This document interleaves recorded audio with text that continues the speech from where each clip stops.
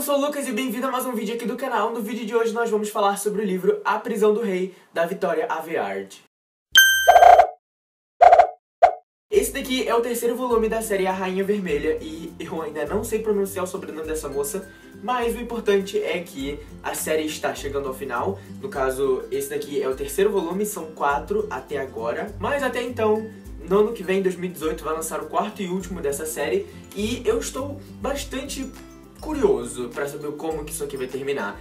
Porque ela tá só aumentando e aumentando e aumentando cada vez mais e eu não tô vendo aonde que isso aqui vai acabar. O livro A Rainha Vermelha, que é o primeiro que abre essa série, ele é um livro muito mais romântico do que aventureiro, eu pelo menos achei isso, e aí eu não gostei muito. O segundo livro já foi muito, muito, muito aventureiro, com pouco romance, muita ação, e aí eu já adorei, achei muito legal.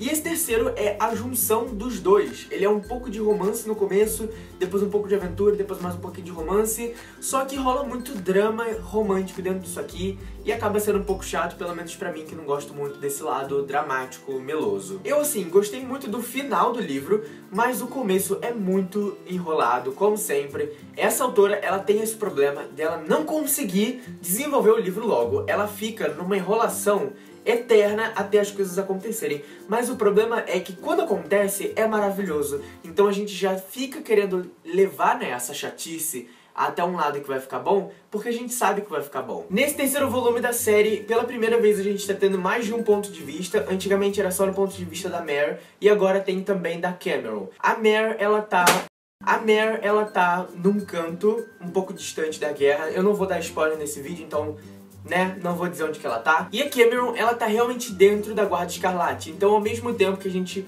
conhece um pouco do lado lá da Mary, onde ela está, a gente também fica sabendo do que, que a Guarda Escarlate está fazendo. E isso é muito legal porque a autora, ela conseguiu criar esse suspense dentro da história, porque a gente fica meio que sendo a Mary, que tá distante da Guarda Escarlate, e a Guarda Escarlate tá fazendo coisas e que a Mare definitivamente não sabe do que tá acontecendo. E a gente também não sabe. A gente só fica descobrindo poucos detalhes mas é nada muito grande, nada ao plano concreto. E quando a Mare descobre sobre os planos da Guarda Escarlate, a gente também descobre. Então, meio que a surpresa que a Mare tem é a mesma surpresa que a gente tem. E mais pro finalzinho do livro, a gente também descobre um pouco do ponto de vista da Evangeline. Pode ser que no próximo livro ela ponha mais personagens tendo ponto de vista, porque agora sim os personagens estão muito distantes um do outro e eu não sei como que isso vai acontecer, mas eu espero só que de verdade ela não enrole no próximo livro e que ela realmente saiba fazer as coisas acontecerem, porque em alguns momentos esses pontos de vista diferentes acabaram meio que atrapalhando a história, ficando um pouco cansativo.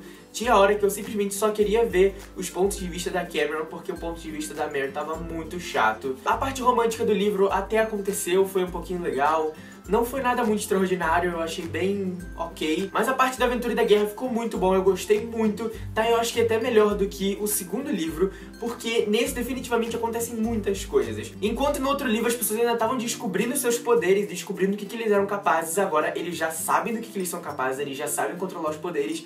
Então eles realmente já estão botando fogo no, no lugar todo. Mas enfim, é isso. Eu não quero muito falar desse livro, porque esse daqui já é o terceiro volume, então, né, eu não quero muito dar spoiler. Mas no ano que vem vai lançar o quarto livro e provavelmente vai ser o desfecho dessa história.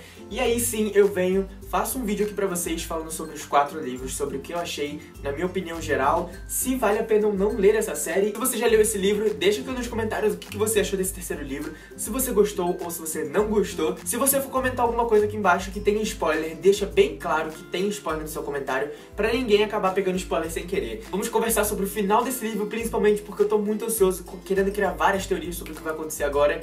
E é isso, se você gostou desse vídeo, deixa um joinha aqui embaixo, se inscreva aqui no canal se você não é inscrito e nos vemos no próximo vídeo. Tchau!